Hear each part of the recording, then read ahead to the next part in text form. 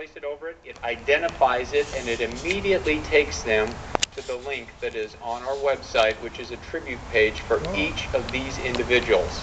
And therein lies the rest of the story, the full hmm. story about their lives. We can add pictures, we can add stories, and you might not think that it's that prevalent until you look at this and then start noticing as you walk by windows of stores, as you look at the Sunday paper, you'll realize that QR technology and QR code